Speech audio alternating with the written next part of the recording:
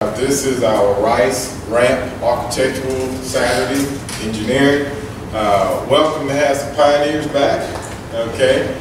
Uh, oh, Keegan's in the room. Okay, but uh, JP is good to see you. Uh, so I'm going to hurry up, get out of the way because I know it's past our start time. So the floor is yours. Okay. Thank you all so much. Sure, thanks for having us. Hey everyone, thanks for coming out today. Raise your hand if you were here last time. Nice to see you. Here last time? Yeah. I was put it. It's a tough one. Our last, sorry, our last session. It's nice to have you all back with us. Um, my name is David, and, I'm Lauren. and we have a couple of volunteers with us from Rice today, so if you guys can go ahead and stand up, introduce yourselves. So let's start with Patty. And where are you visiting, where are you from? Uh, I'm from Shanghai, China, and I'm also a student Great, so she's a graduate student at Rice. Hi everyone, uh, my name is Sai from Beijing, China, and uh, this is my final year of, as a graduate student at Rice. My name is JP. I'm also a graduate student at Rice. I was here a lot last year, so I recognize uh, several of you. Um, so it's nice to see everyone. It's great to have JP back, and Keegan was also here. Uh, JP and Keegan set up the recess program, so a lot of the slides that you see today were actually started by them. So, thanks guys, good job. okay, so today we're going to be talking about communication. Uh, we're going to go through a couple of items that we covered in our last session to kind of refresh your memory, and then we'll move on to the new content. Um, Okay. Uh-oh. so we are going to be talking about the built environment. Um, so here we have an aerial view of Houston. And I'm wondering if you guys can help us point out a couple of elements within the built environment that you see in this photo. What, what do you think constitutes the built environment?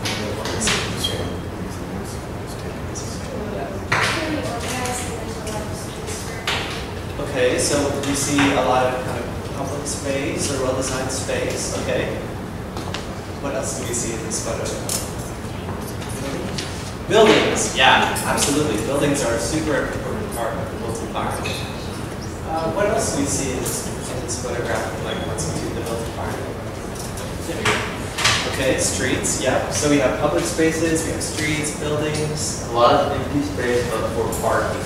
Okay, a lot of parking lots, a lot of pavement. Is there anything else that stands out? Parks. There's a lights everywhere. Oh, I'm sorry.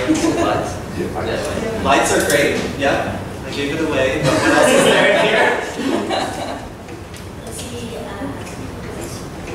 Some pools.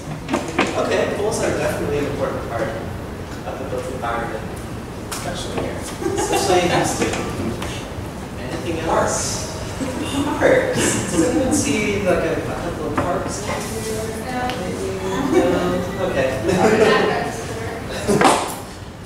Okay, so as architects, we deal mainly with the built environment, right? So that includes buildings, as we said, that can include streets, it can include lights, parks, uh, community spaces, open spaces, things like that. So uh, when we're talking about architecture, those are kind of the terms that we're, that we're setting up. Okay, Can you guys tell us what STEM stands for? Yes. Science, technology, engineering, Right. So you might wonder how architecture fits into STEM. And you actually, if you change it to STEAM, you get arts and architecture in the mix, and the rest stays the same as well. Um, but it's important to kind of think about how that situates itself in, and how how might science be part of architecture? Yes. Science involves Right. Um, so you can take both math and science, and you get that in the ways that architectural materials are made, um, doing different calculations for the building itself. Um, how do you think engineering or technology might relate to architecture?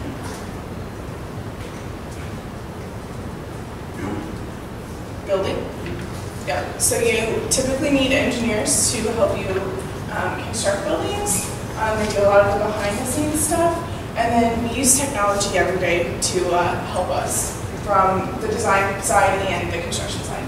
Yeah, so today we're going to be discussing technology quite a bit and how that relates to communication. Okay, so how do you become an architect? This is us. Uh, you can probably find each of the volunteers in this photo. Uh, so in order to become an architect, you have to do well in school, obviously. Uh, and you have to kind of figure out uh, what you're good at and what you might like to pursue as a career that will kind of bring you fulfillment and make you happy and uh, produce meaningful work. Um, so we're hoping that by teaching these lessons and uh, showing you guys a little bit about what architects do, you guys might consider pursuing career in architecture in the future. So there are a number of, or there's eight uh, schools that teach architecture here in Texas. Um, in Houston specifically, there's Rice University, where we're obviously from, as well as the University of Houston.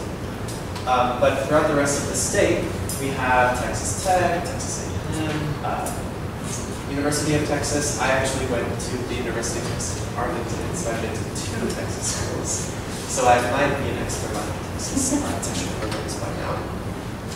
Um, so yeah, now we're going to kind of transition into the uh, content that we discussed last time with structures. So, structure in buildings. Does anyone recognize the of buildings? Yes, what's another name for that? Yeah, the Astrodome. Okay, so the Astrodome was a very significant, structural building. Um, it is the first steel dome that was ever constructed. And the engineers who designed this uh, basically said, okay, how far away are we going to have to move this thing? Because once this collapses, people are going to come after us.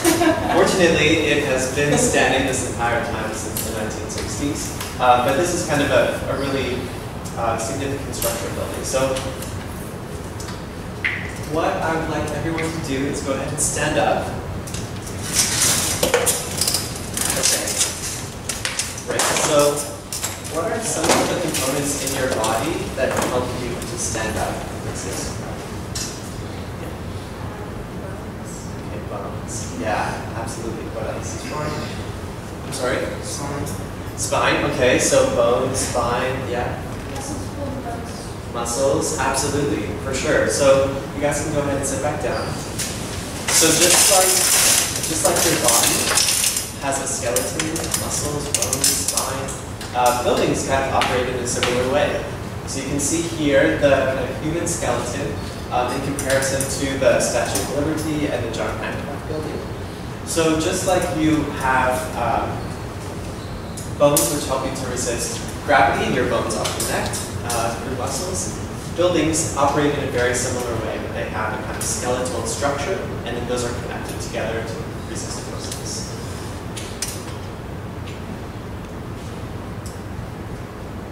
Okay, so there are many different options and many different ways that structure can be provided for buildings. Um, kind of take this room as an example, we see that we have some concrete columns in the middle of the room here. That's helping the building to stand up.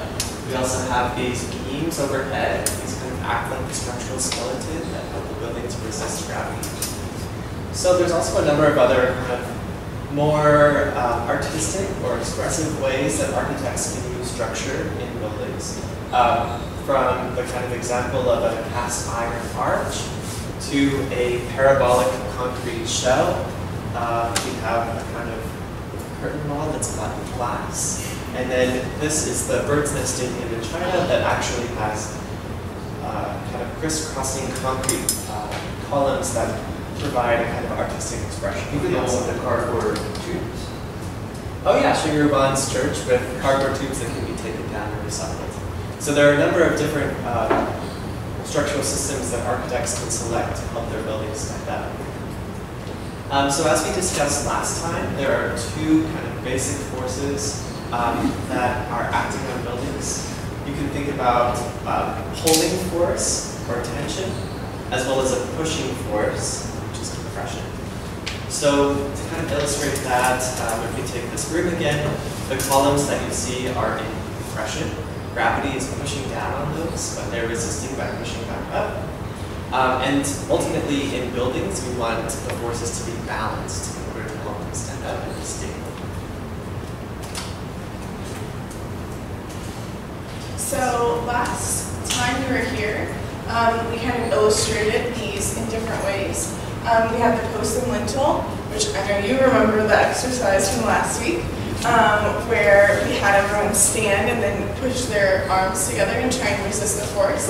Um, we had the arch, which was also similar. Um, just the top piece, you guys held up your hands out like this. Um, and then we talked about how the top of it is really key to helping that stand. We looked at the dome as well, um, which is similar to the arch in its circular nature and how each piece kind of helps the whole thing stand. And then we looked at the space frame um, and how the different elements within that um, piece together. And we did one of these, each person, and everyone relied on each other to uh, kind of help that stand up.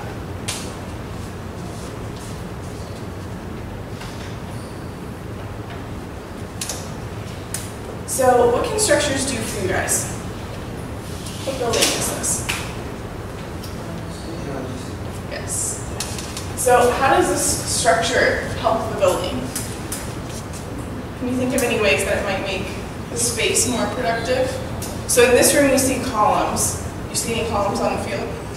That might be a little bit of a problem. So they use the space frame to create really, really big spaces, um, which helps you free up the ground so that the games can be played, but also provides a lot of space for um, fans to sit, which is crucial in that area.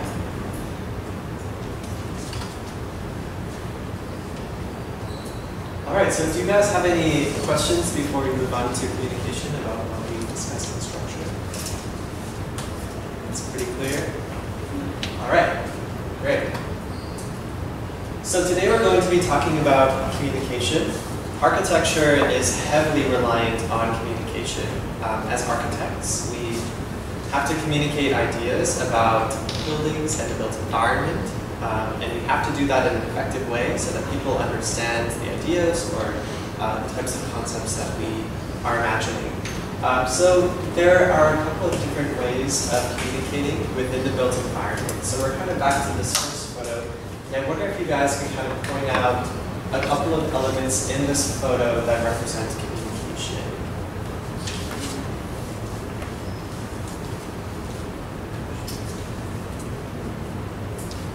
So communication can be words, it can be images, it can be um, a sense of use or, occupation. Did you have The spacing of each building? Okay, the spacing of each building could be a way to communicate. What do you think that might communicate? How much area of land one takes up in comparison to one? Okay, okay, so how particular buildings might relate to one another. So if buildings are related use, they might be closer or maybe spread a little bit further apart. That's a good, that's a good observation. Yeah, absolutely. That's a huge part of communication in the built environment. Advertising. Huge, definitely. Yeah, yeah. Did you guys have any There's a lot of intersections and like street lights. Okay, street lights and crosswalks. Absolutely. What do those communicate? Um, In Houston, I communicate something different than other cities. Oh, well, where people can walk or what's, um, maybe they try to make people feel safe. Yeah. um, At, at nighttime, I guess. Absolutely, for sure. There's definitely a lot of signs and stoplights. Yeah, signs, stoplights, absolutely. So these were all really great examples of communication in the built environment. So as architects, we have to take all of these kind of factors into account when we are uh, designing buildings. Okay, so architects heavily rely on um, communication, as we said, to convey concepts, um, express a design, encourage collaboration, and construct buildings. So believe it or not, this is actually a sketch for a real building uh, that was done by Frank Gehry. So this is kind of one element of written communication. You also have verbal communication. Um, here you see JP Keegan presenting to a group. Um, verbal communication is really important uh, in helping to explain something to someone else, to get a concept across, um, and to just push design along in that particular way. You also have visual communication, which David kind of touched on before. Um, drawings are really helpful in visual communication. Uh, we do all sorts of different things within drawing to help better communicate to people who are going to see those drawings that you might not be able to verbally communicate with. Um, so you can see here um, an older picture of a bunch of draftsmen um, creating drawings for a particular building. So in the two uh, slides which we just discussed, both in terms of verbal and visual, there are different audiences that uh, the architect or student is attempting to uh, kind of communicate to. So in the first example, in terms of verbal communication, you can see that the audience here is kind of a, a large group. Looks like they might be students that are visiting Rice. And so there's a very kind of particular uh, way that an architect would present to these students. Um, in comparison to what you see here, so this is an architectural office um, that's producing drawings that might communicate to a contractor or a builder or someone who owns or lives in a building uh, in a more technical way. So in thinking about audience, architects have to select which type of communication they're going to use in order to provide the most effective message.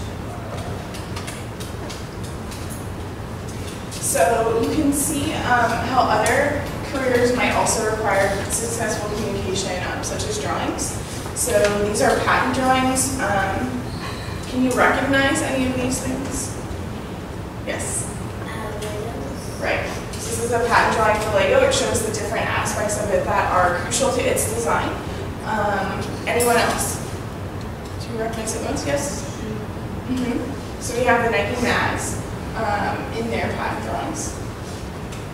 Does anyone recognize the one in the middle? Anyone that can't read yeah, it's an espresso machine, which you may not be able to see too quickly. Uh, but in each of these drawings, you can kind of see how the objects which are being commu- communicated are drawn in their most simple expression. They're drawn without color, they're drawn with very little shadow, and they're heavily notated. There's lots of little uh, numbers and figures and references and dimensions that describe the object without kind of giving you a picture of what the object literally is. Right, so as David's saying, in, in this one, for example, you have numbers that pull off, and then you have text that backs up that drawing to help explain different pieces of it. So just like these patent drawings, architects produce very uh, abstracted technical drawings to describe buildings. Okay, so we're going to talk about the different types of drawings that architects use, um, which are geared toward a specific audience and situation. So let's take our friendly orange as an example. okay, so if you can picture an orange, right, this is kind of your standard kind of photograph of the orange. There's light, there's color, there's shadow, reflection. This is kind of an orange as you would see it in everyday life. Uh, so the first kind of conventional drawing that architects produce in order to lay out and design buildings are called floor plans. Has anyone heard of a floor plan? Yeah. Yeah, they also used to be called blueprints, but they're not called floor plans, just so that you know. Uh, so we're thinking about our orange on the right there, um, imagine that you take that delicious orange, cut it in half, and then you hold up that half to look at the inside. And that's what a plan is. So we apply the same uh, kind of logic to the design of a building. So if you were to think about taking a building and cutting it in half, and then picking up that half that you cut and looking inside, that's what a floor plan drawing would look like. So this is a very, very um, widely used and uh, kind of standard conventional drawings that architects will use to communicate an idea about, about buildings. So in all of these examples, we'll be looking at kind of a basic house. Um, so you can see in the floor plan of this house, we have the stair drawn in the middle. Have the larger living and dining room spaces next to the stair. And then the smaller spaces like the kitchen, bathroom, and bedroom up towards the, the top of the sheet there. All right, so the next conventional drawing that architects use is section drawings. So if you can imagine that a plan is kind of cut horizontally, a section is actually cut vertically through a building. So if we take our orange and we change the direction of the cut from horizontal to vertical, now we're looking at a kind of section of the orange. So now you see the, the kind of two halves or lobes of the orange. You can see the stem in the middle and the skin on the outside. So architects would use this um, as a conventional drawing to think about the way that spaces in a house, in this example, are arranged vertically. So in this example, you can see our living and our dining room from before. You see the stair, but now we can see, hey, that stair is actually going all the way from the basement up to the second floor. So we can understand how people will move through the building. And then we can also start to see how windows will let light into the space, how you might think about the ceiling heights, and uh, how the spaces are going to be arranged as the building is stacked up. All right, the third convention that we're going to talk about is elevation. So again, if we're thinking about our friendly little orange, uh, we have a photograph of him. The photograph is showing perspective, it's showing light and shadow, as we said. Um, if we take an elevation of the orange, we're going to take away all of that perspective, all of that um, kind of light and shadow and texture, and just show it as an abstract object. So just like the patent drawings that we saw earlier, um, elevations are line drawings, which are abstracted versions of what we would see in real life. So in our house example again, we're seeing the house from the outside this time. We see it as a flat kind of 2D plane, and we see how the kind of windows are uh, situated. We see the balcony, we see the scale, how it might fit into the context or the neighborhood. We see a car, yeah, absolutely. Uh, but everything is flattened out, right? We're not seeing this in perspective as we might see it in real life. So what architects would do is they would kind of combine plan, section, and elevation drawings to describe a project or a building, or in this case, a house. So if you can kind of imagine that the plan, section, and elevation are um, the ways in which we might describe an orange. These are also the most common ways that architects will design and uh, communicate ideas about buildings. And it's important to talk about audience for these drawings. So since these are kind of conventional drawings, what that means is they kind of set up a language that certain people will understand.